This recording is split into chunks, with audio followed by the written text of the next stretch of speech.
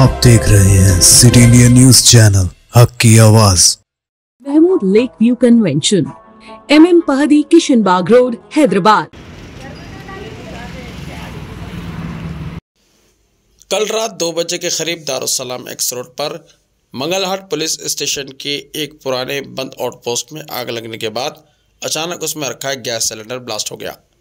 इस हादसे में मंगलहाट और हबीबनगर पुलिस स्टेशन के दो कांस्टेबल्स और एक वेस्ट जोन के रिपोर्टर जिसका नाम मोहम्मद रहीम जख्मी हो गए।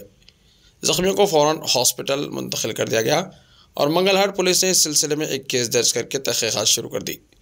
पुलिस ने फायर ब्रिगेड को तलब कर लिया और फायर ब्रिगेड ने आकर आग बुझाई।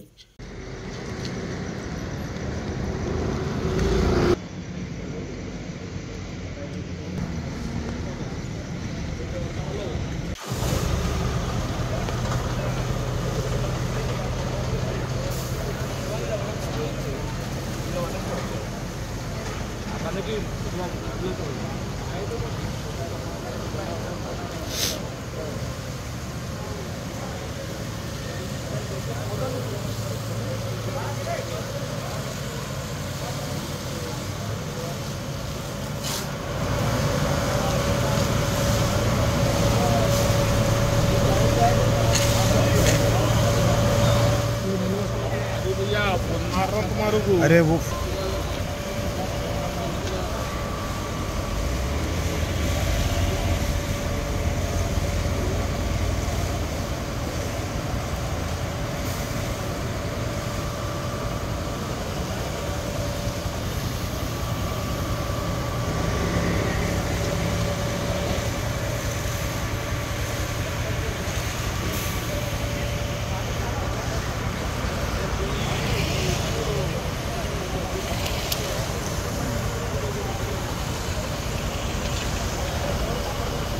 रिश्ते तो अल्लाह की रजा से होते हैं। वो रब जो सब पर मेहरबान है और इन लम्हों को खूबसूरत बना रहे हैं, महमूद लेक व्यू कन्वेंशन, जहाँ आपके तमाम यादगार लम्हों की तकमील होती है। शादी, walima engagement party birthday party kitty party anniversary parties हकीका जैसे फ़ंक्शंस के लिए महमूद लेक व्यू कन्वेंशन से जुड़े। जदीद और फुली एयर कंडीशन 200 से 800 मेंबर के लिए वासी इंतज़ाम। खूबसूरत लेक व्यू का नज़ारा लें, महमूद लेक व्यू कन्वेंशन से।